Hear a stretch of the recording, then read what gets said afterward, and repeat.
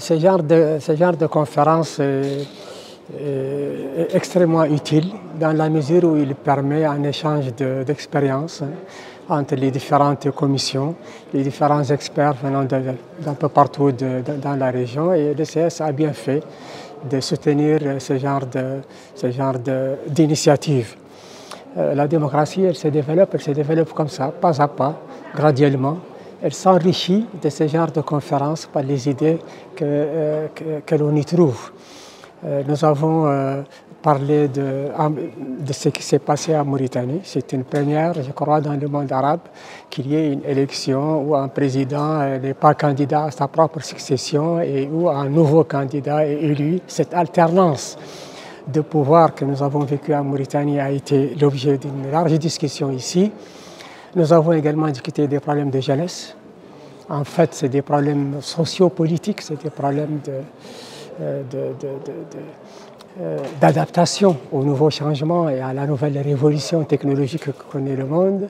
Nous avons discuté du genre, la femme, sa place.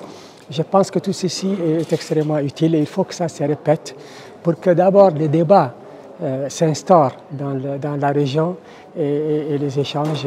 Et c'est très bien que dans le, monde, dans le monde arabe et dans cette région, c'est maintenant la question des élections qui devient le sujet majeur des discussions. Avant, c'était très loin. C'était très loin. Euh, il faut répéter, il faut refaire ce genre de, de, euh, de conférences.